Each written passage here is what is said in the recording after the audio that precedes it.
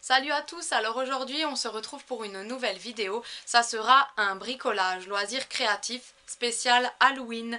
Donc il s'agit d'une lanterne de table pour décorer euh, vos repas euh, entre sorciers et sorcières. Si vous voulez en savoir plus, restez avec moi pour la Alors, suite. il vous faudra un petit sopalin pour protéger votre table.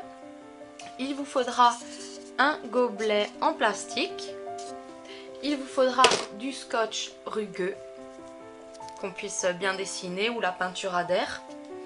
Vraiment rugueux, pas lisse. Il vous faudra de la peinture orange, un marqueur noir, un pinceau et on aura besoin d'une fausse bougie à LED comme ceci. Vraiment, je précise une fausse, pas une vraie. Alors, pour commencer, on va prendre des bouts de scotch et on va placer ça autour de notre gobelet.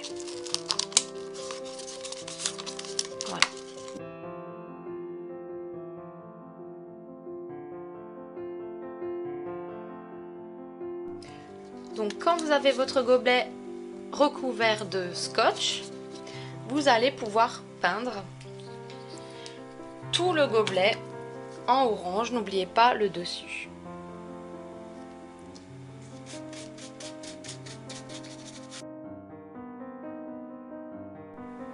Une fois que c'est bien sec, vous allez venir avec euh, le marqueur dessiner euh, le visage de la citrouille.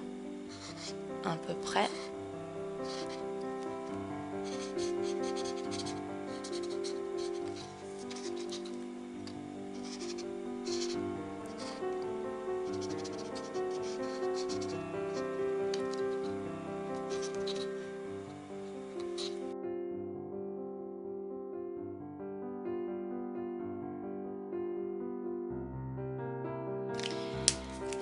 Donc une fois que c'est fait, vous allez pouvoir y glisser votre lumière en dessous. Et je vous montre dans la nuit ce que ça donne parce que là, bien sûr, on ne voit rien. Et voilà une belle déco pour Halloween. Donc c'est très important d'avoir une fausse bougie parce que sinon ça va fondre, ça va prendre feu.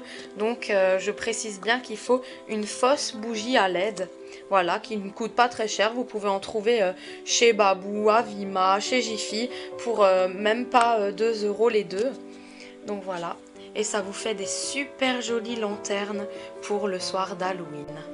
Et voilà, j'espère que ma vidéo vous aura plu. C'est très facile à faire avec les enfants. Et je vous fais de très gros bisous. Ciao